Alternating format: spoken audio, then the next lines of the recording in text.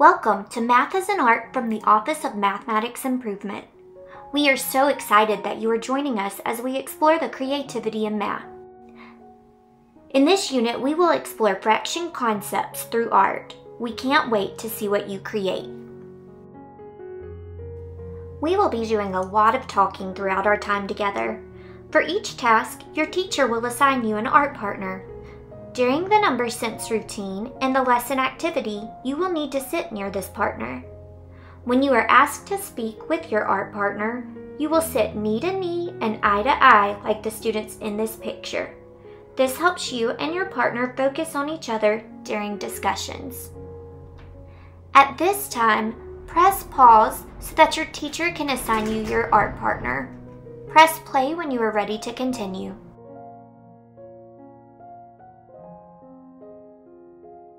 Let's get started with a number sense routine called Which One Doesn't Belong? The idea is from WODB.ca. We use hand signals to communicate during a number sense routine. These hand signals help us respect our classmates by giving them time to think before saying an answer out loud, allowing others to share ideas, and to keep things moving along so no time is wasted. These signals are held in front of your chest. A fist means I'm thinking about it. A thumbs up means I have an answer or I have something to share. And the last hand signal is how you share that you agree with what someone said. Maybe they're thinking the same thing that you were. Instead of shouting out, I agree, just silently communicate by showing this signal. Look at these pictures. Let's think about which one doesn't belong. Let's take some time to think about this question to ourselves. Press pause, then press play when you are ready to continue.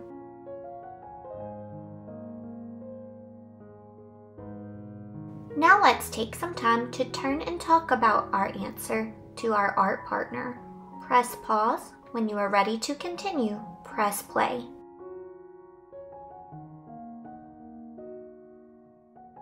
Now you will share your ideas with the class. Raise your hand to share your idea with the class. Be sure to clearly explain your thinking so that your classmates understand your thinking. Press pause. When you are ready to continue, press play.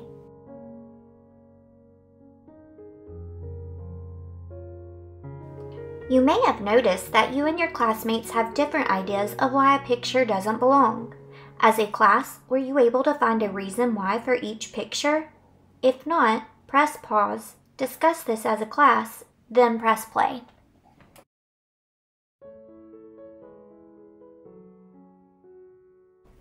I noticed that all pictures include circles. I think a reason A doesn't belong is because this circle is made up of four different colors or patterns. I think B does not belong because it looks like one piece is missing from each circle. For picture C, I notice this is the only picture that is not an actual picture of a quilt. So for that reason, I could explain that that picture doesn't belong. For picture D, I notice that each circle is split into two equal parts. The rest of the pictures contain circles that look like they are split into four equal parts. There are many other reasons that we could include why each picture doesn't belong. When we discuss our ideas, we see new details that we would not have seen on our own. We are now ready to begin our first task. Today, we will make a three-dimensional structure with paper plates. Before we begin our art project, let's use these paper plates to explore fractions. For this part of the task, you will need two paper plates and one pair of scissors. If you do not have these materials, press pause, gather your materials, and press play when you are ready to begin. We will begin by folding one plate into two equal parts. As you fold your plate, be sure that your ends, that the edges of your plate meet up. This will ensure that you have two equal parts. press and crease your fold.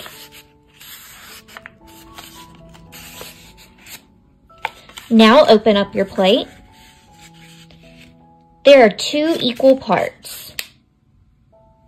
We see that each part of the plate is the same size. Now fold your paper plate back into two equal parts.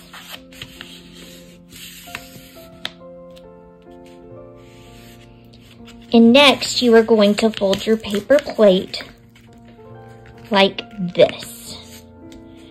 Be sure to press the fold to make it crease. Okay, now I would like for you to set this plate to the side. All right, let's get our second plate. We are going to fold this plate into two equal parts. Once again, be sure that your edges meet so that you have two equal parts when you unfold your plate.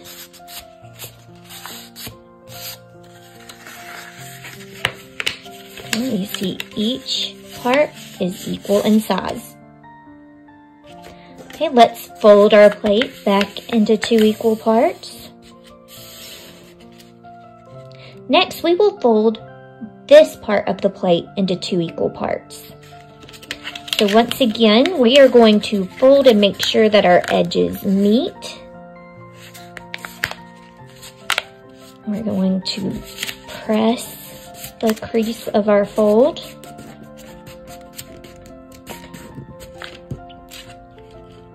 Okay, so now I would like for you to unfold both of your plates.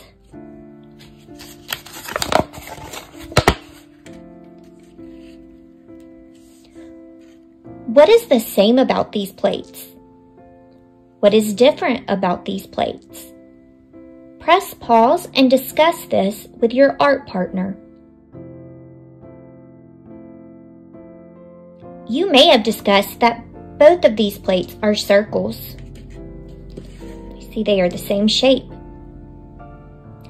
You may have also discussed that they are both split into four parts. We have one, two, three, four pieces and one, two, three, four pieces on both plates. You may have discussed that these plates are different because the four parts of the plates are not the same shape. Over here, I see I have a wedge shape here. Whereas here, I have more of a bar shape. One of today's learning goals is to partition objects into equal parts. What parts of this learning goal are clear? What parts are unclear? Press pause and discuss this with your art partner. You and your partner may have discussed that you understand equal parts. In first grade, we learned that equal means the same as. We can apply our understanding of equal to make sense that equal parts mean parts that are the same size. You and your partner may have discussed that the word partition is unclear. When we folded our plates, we partitioned our plates. Partitioning means to divide an object into equal or unequal parts. Let's look back at our learning goal. Partition objects into equal parts. Which plate meets our learning goal?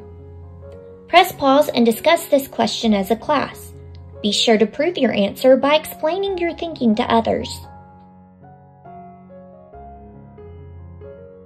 This plate meets our learning goal because each of the four parts are the same size. Let's check that out by using our scissors to cut the pieces apart.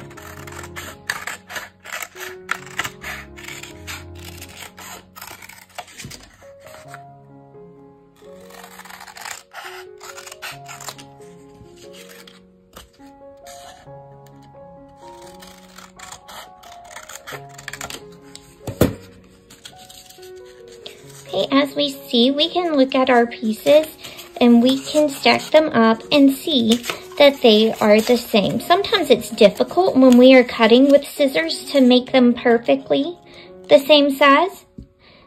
However, we get the idea that each of these pieces are the same. Let's use our scissors to cut the parts from this plate.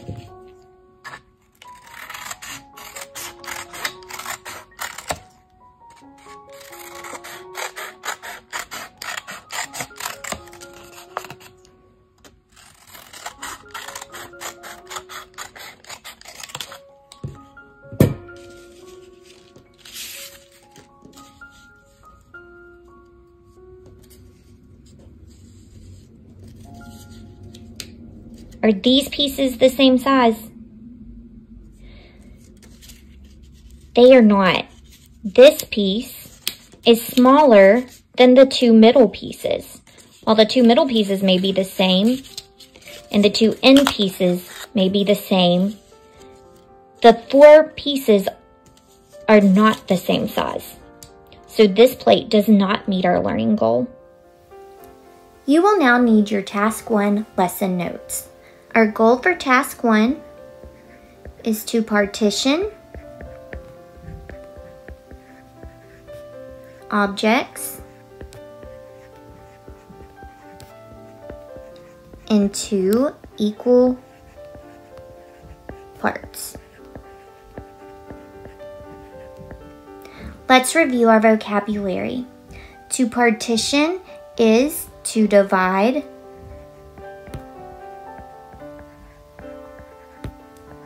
an object in two parts. And we discussed that equal parts are parts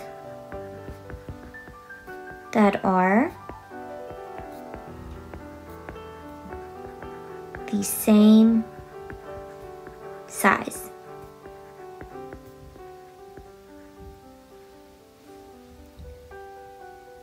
Now look at the table. We are going to begin by looking at the circles and rectangles because these shapes are simple to divide into equal parts. Since we explored partitioning a circle into four equal parts, let's start there. We discovered that we cannot partition a circle into four equal parts by drawing lines across the circle like this we were able to cut the plate and see that the edge pieces were not the same size as the two middle pieces. We can partition a circle into four equal parts like this. Keep in mind when drawing by hand, these will not be exactly perfect. The idea is to get it as close as you can to equal parts. There are many ways to partition a rectangle into four equal parts. Today we will partition it like this.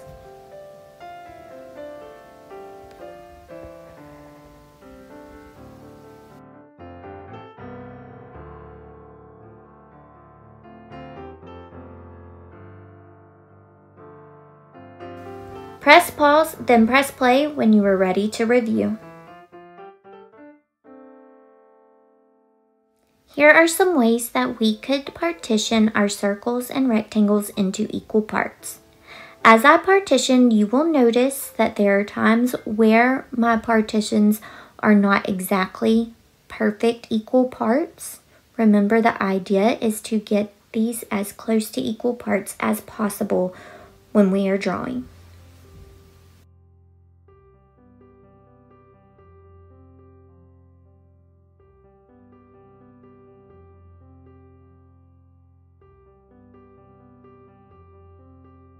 Now we are going to take a look at partitioning our triangles into equal parts. Triangles at times can be difficult because we cannot cut them like this. So for example, if I was trying to cut this into three equal parts, this is not going to work for the same reason why it did not work for the circle. The edges will not match the middle piece. So we have to think about what are some ways that we could partition this rectangle into equal parts. Sometimes having a, a ruler to draw these parts, these lines can make it more clear. But here is one way that we could partition this triangle into three equal parts. As you see here, we divide into three smaller triangles that are the same size. For four equal parts, once again, we cannot cut the triangle straight up and down or even across. As you see, this will not make for equal parts. So we have to think about how can we do this. And so the best, one of the best ways would be to break it down into smaller triangles. When I do this, you see that I have one, two, three, four equal parts.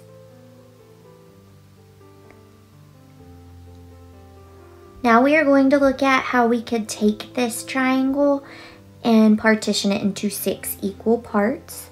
Once again, we're going to look at making smaller triangles within this triangle. So my first step is going to be to cut, to partition my, my triangle into two equal parts. And then from this point, I am going to draw a line from the side to the corner. I'm going to repeat it on the other side. And now you see we have one, two, three, four, five, six equal parts.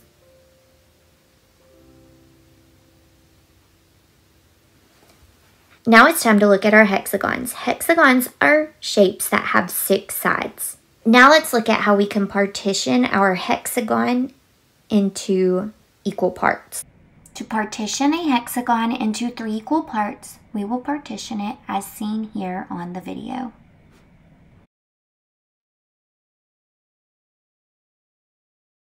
In order to partition the hexagon into four equal parts, we can divide it into two equal parts then two equal parts across the top and we have one two three four equal parts. And for six equal parts we are going to start by partitioning the hexagon into two parts. And much like when we were working with our triangles we can split this into smaller triangles And you see we get one, two, three, four, five, six equal parts. Now I would like for you and your art partner to work together to partition the pentagon into five equal parts. Press pause, then press play when you are ready to continue. We cannot partition the pentagon using vertical lines or even lines that cut across as we know from experience that we are not going to get equal parts by doing this. So we have to think outside the box a little bit of how can we get this pentagon into equal parts. And the way we can do this is again through thinking about triangles.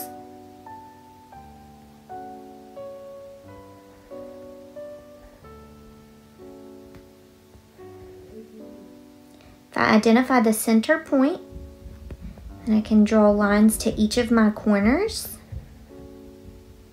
I can see that I can get it into five equal parts.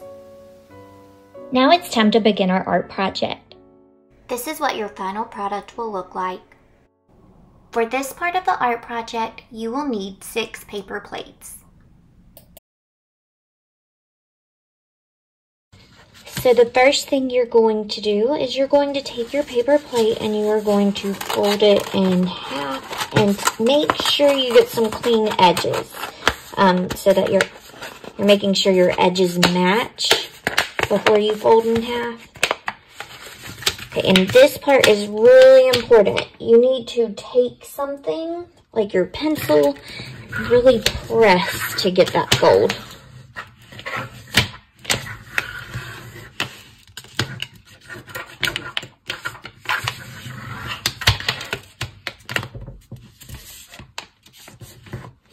Okay.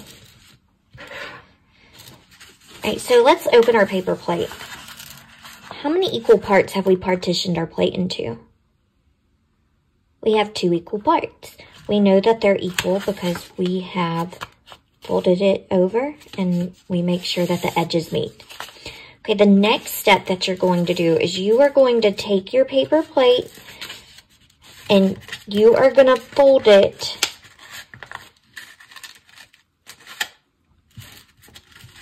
where you get, it looks like two equal size triangle wedges.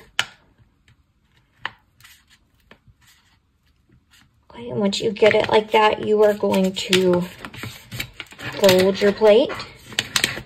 And once again, you are going to crease it.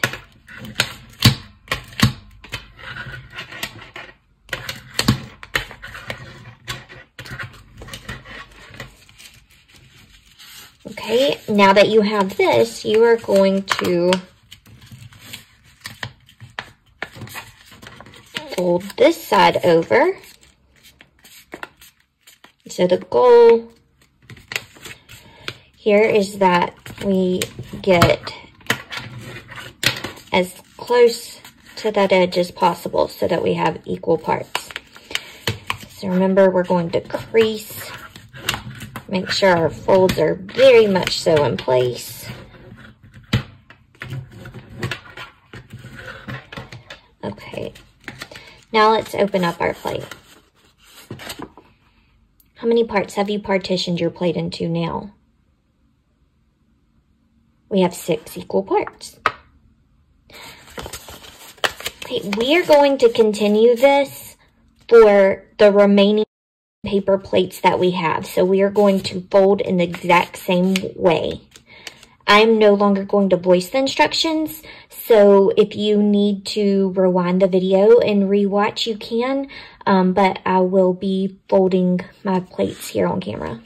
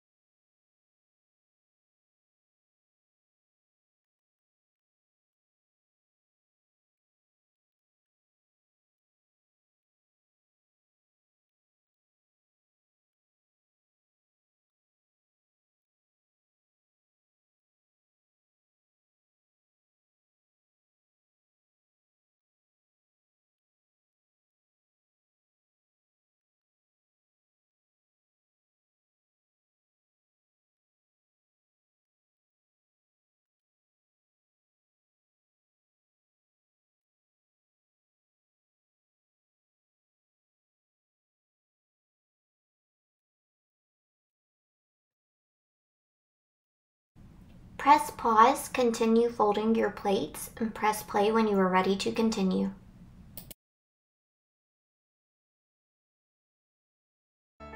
For this next part of the task, you will need the color wheel sheet, red, yellow, and blue paint, as well as some paint brushes, a brush rinsing cup, and some paper to protect your area.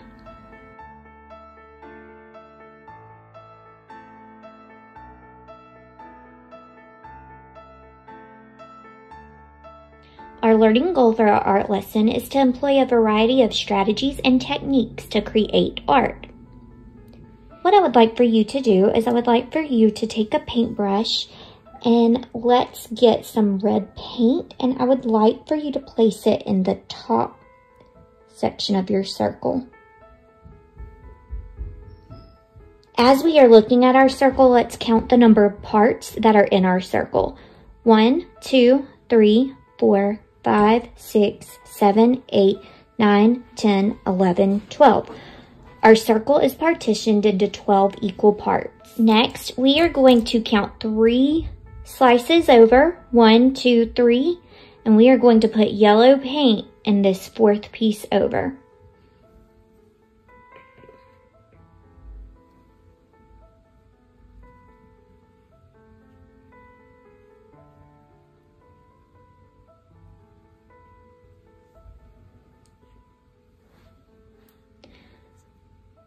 Right, next we're going to count three slices over from the yellow. One, two, three, and we're going to put blue paint in this section.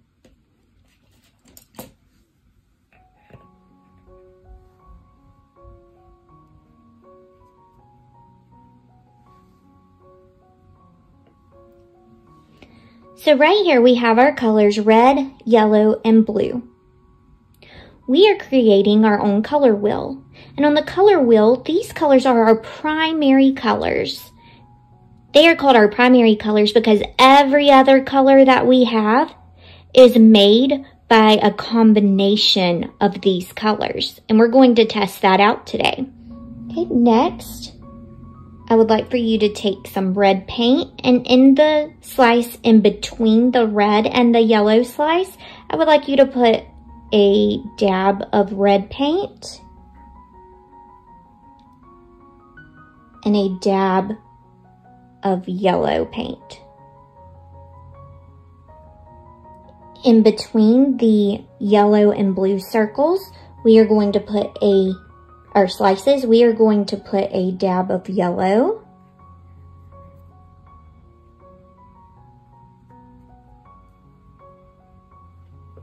And a dab of blue paint.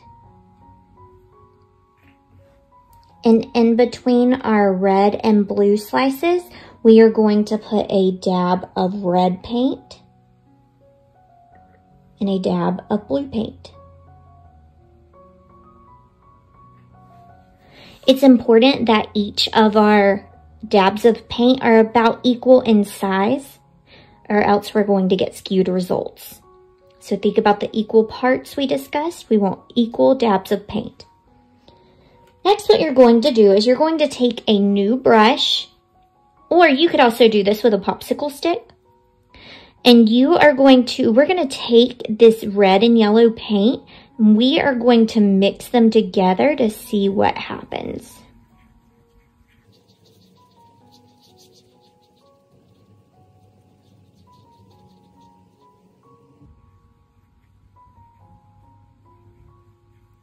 As you are mixing, what do you notice is happening? I notice that I have orange paint. So when we blended the colors of red and yellow, we ended up making the color orange. Now let's take a new brush and let's mix our yellow and blue paint. I want you to think about what might happen when we mix these.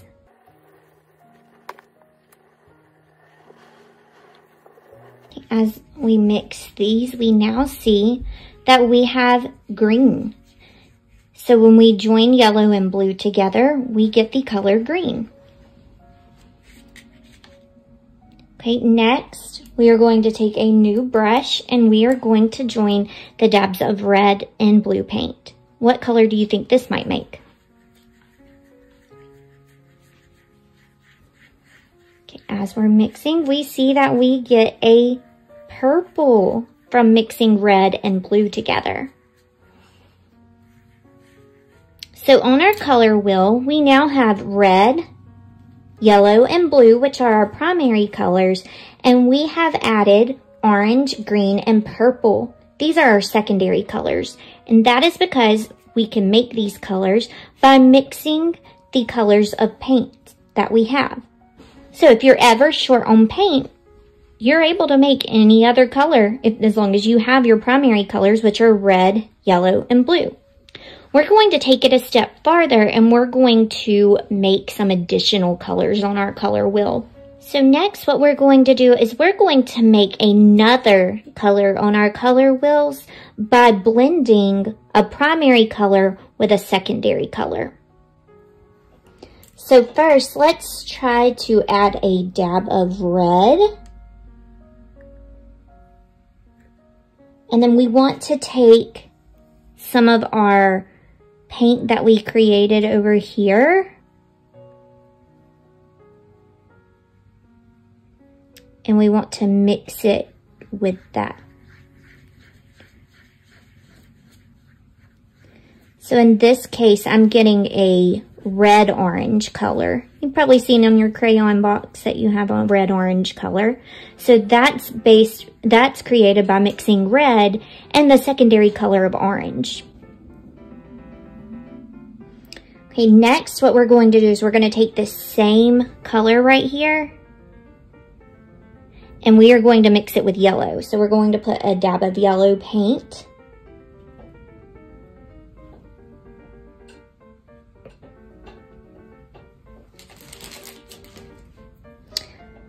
With a dab of our secondary color of orange.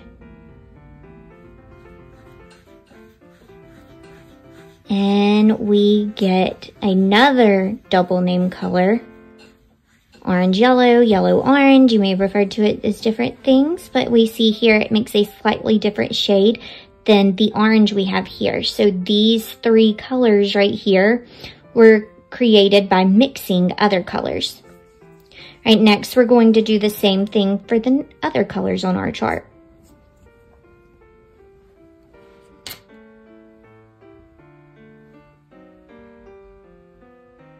Okay, so let's start by putting a dab of yellow paint in our slice beside our yellow paint.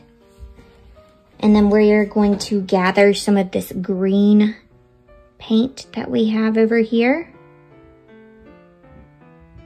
And we are going to mix it with the yellow paint.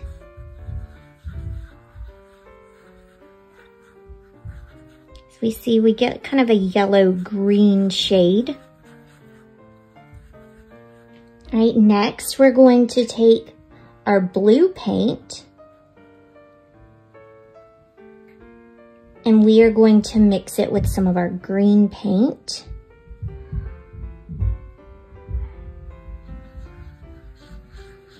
We get our blue-green. Also seen a crayon in your box possibly that matches this color as well.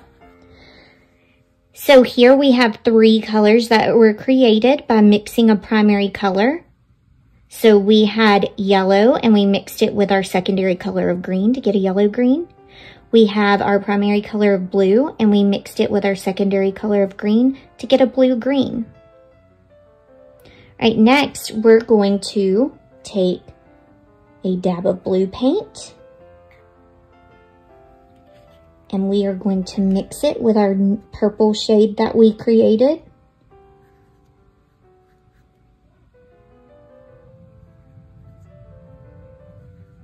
When we mix our purple and our blue, we get a shade of called we can call violet.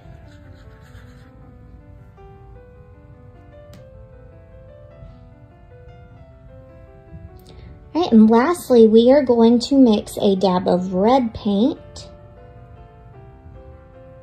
with a dab of our purple paint. So we, as we mix it, we see that we are getting a reddish purple shade. That's slightly different than the other shades we have on there.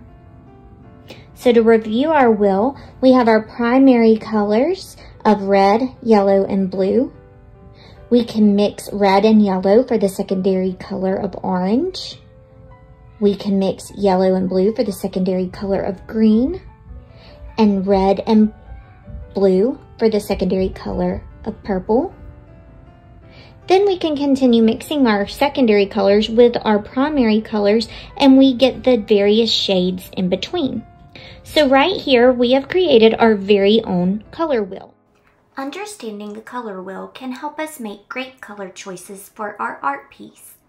The line that partitions the circle into two equal parts is the dividing line between warm and cool colors.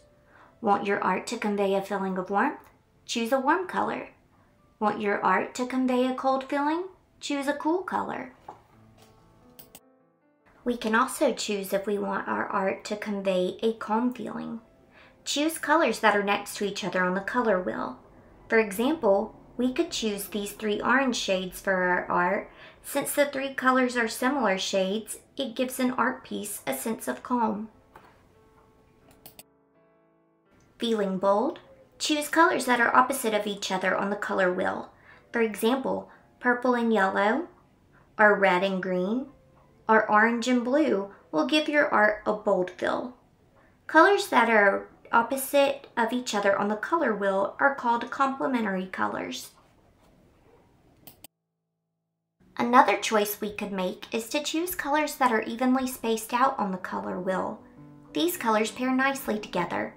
For example, the primary colors of red, yellow, and blue all have three spaces between them. This means these colors will pair well together. Keep this in mind when choosing your paint colors in the next step. Now it is time to make a plan for how you will paint your plates. Use your knowledge of color theory to select your colors. For colors that pair well together, choose colors that are opposite of each other on the color wheel colors that are evenly spaced around the color wheel, or colors that are next to each other on the color wheel. You may also choose to use only cool or warm colors. The choice is yours. For my plates, I will be using crayons. However, using paint results in a cleaner look. Since you only have red, yellow, and blue paint, you might have to mix colors as we did on the color wheel to get the colors you want. I am going to use blue, green, pink, and purple. To make a plan, I will place the initial of that color in each part of my plate. For example, I plan on coloring three out of six parts of the front of this plate blue, and the other three out of six will be purple. I will color each side of the plate. On another plate, I will color six out of six parts pink and 6 out of 6 parts green on the back. Planning your colors is an important part of the process. Label each part of the plate with the color you will use to paint that part. After labeling, begin painting your plates. Press pause, then press play when you are ready to continue.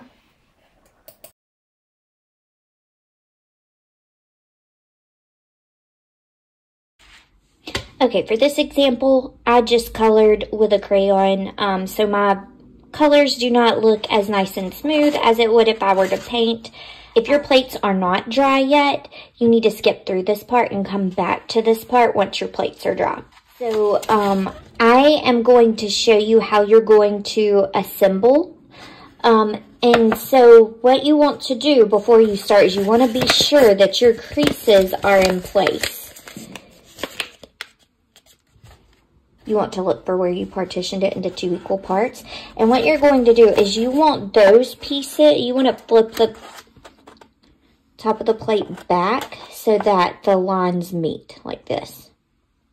Okay, after that, if your creases are nice and in place, then you should be able to pinch right here and it should fold down. If not, you might just have to work with it a little bit and shape it. But if you notice, you get a nice bow tie looking shape like this. So we are going to place a paper clip where those two lines met and it creates our little bow tie shape. So we're going to set that aside. We are going to do this for each plate.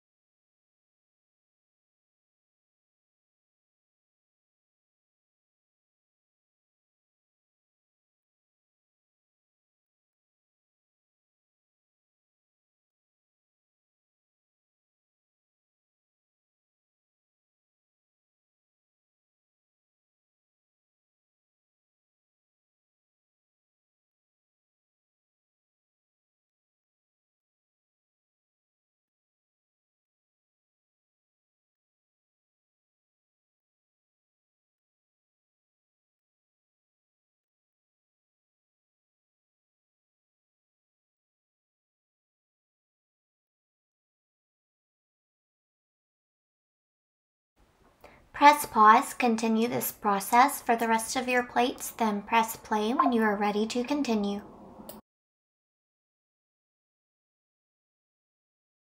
Now that all eight plates have been folded into this bow tie shape, the next thing to do is going to be to piece them all together. So what you're going to do is you are going to place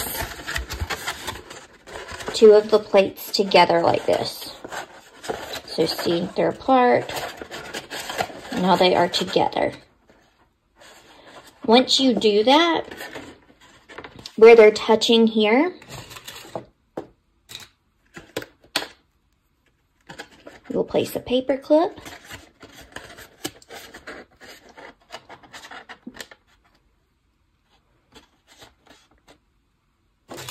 And another paper clip on the other edge. So they are now connected.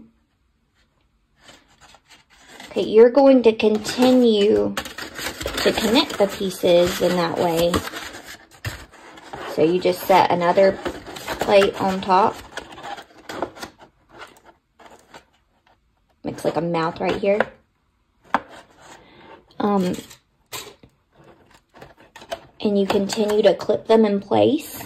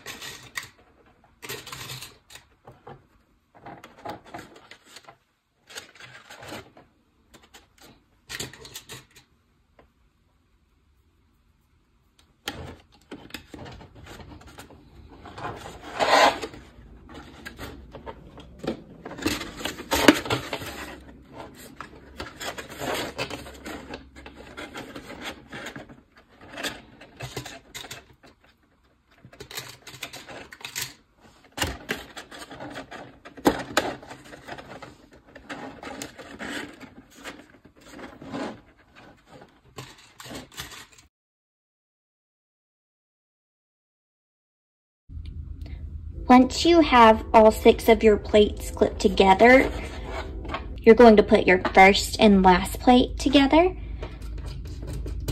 by paper clipping it in the same place.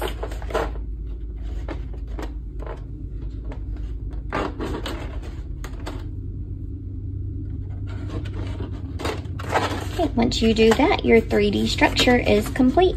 Congratulations on making your first art project in our Math is an Art unit.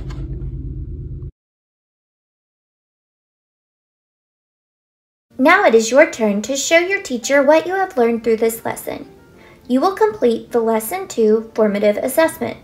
Your teacher will give you more information about how you will turn this in. Press pause, then press play when you are ready to continue. We have now reached the math workshop portion of our task. Our math workshop will have four stations. At the small group station, your teacher will work with you to continue the learning about fractions. At the independent task station, you will complete a task without the help of your teacher. You are welcome to work with your peers on this task. At the application station, you will apply what you have learned to a new situation. Collaborating and working with your peers is encouraged at this station. At the math game station, you will play a game titled Spin It, Partition It, Shade It. To play Spin It, Partition It, and Shade It, you will need one paper clip, a spinner, two different colored pencils, and a ruler.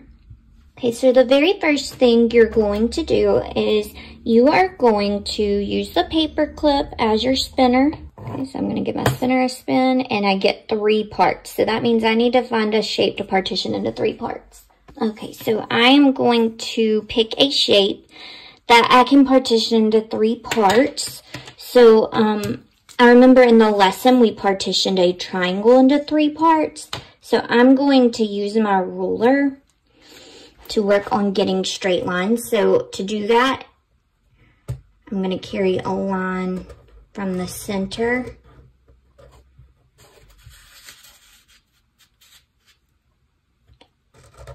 I'm going to carry a line to the center and to the corners.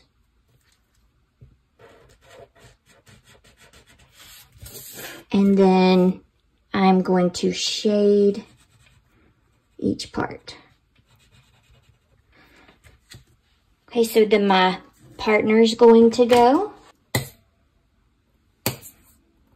Okay, my partner gets five, so they'll find a shape um, that they can partition into five equal parts. There's several I could do that with, but um, I remember the pentagon can um, divide nicely into five equal parts.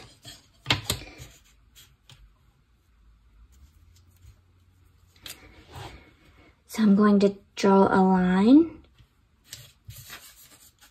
from each corner.